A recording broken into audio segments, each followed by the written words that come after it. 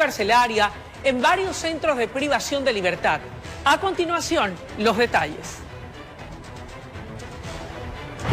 Por estos días, la misión de las Fuerzas Armadas y la Policía Nacional al ingresar a las cárceles del país no solo es evitar que los reos se fuguen y que no les lleguen las armas de fuego y los explosivos a cada una de sus celdas, es aportar en lo que no han tenido durante años, rehabilitación social, empezando por enseñarles lo que significa amar a la patria.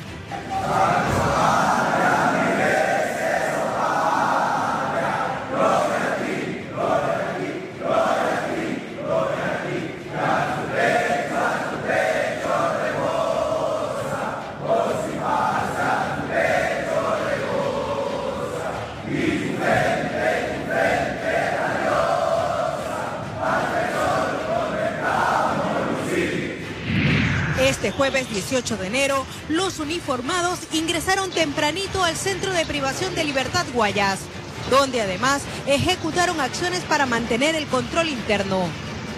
Aquí se hizo, por ejemplo, el rutinario registro de objetos prohibidos.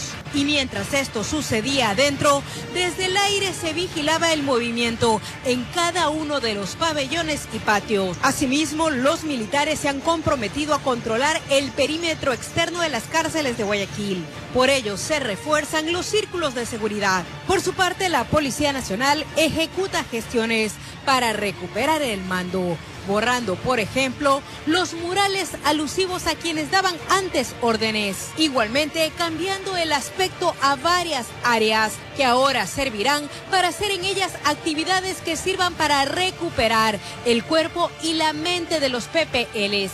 Otras intervenciones similares con militares y Policía Nacional se desarrollan en el resto de cárceles del país, como por ejemplo en Tena, provincia de Napo. Informó Maite Morán.